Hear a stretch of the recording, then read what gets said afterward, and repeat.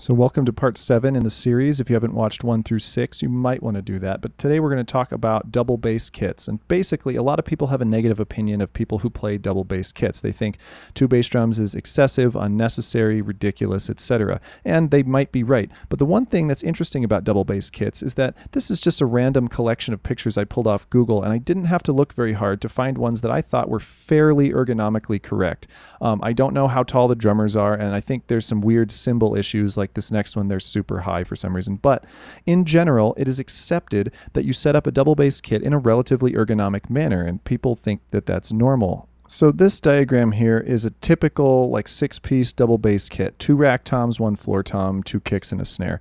Um, it's pretty standard. I don't think you'll find anyone who would disagree that this is how you set up a double bass kit, which is very weird because if you set up a, a five piece single bass kit, in exactly the same manner, but without the second bass drum, you'll get a lot of kickback. People will say you're crazy, that you're doing it wrong, that that's just not how it's done. Um, but for some reason, setting up a double bass kit like this makes perfect sense. So this is the diagram I've shown in a previous video on toms, and it's uh, the ideal sort of ergonomic five-piece setup that I think should be used uh, to be correct. And if you look at it, it's exactly the six-piece diagram uh, that I just showed with one of the bass drums removed. I mean, it is identical in every other way. So why do people find this weird, but the double bass six piece not weird? I, I have no idea. I have no way to answer that um, other than to say that a lot of people are very confused. So here's some more random pictures of fairly ergonomic looking double bass kits, and they were easy to find.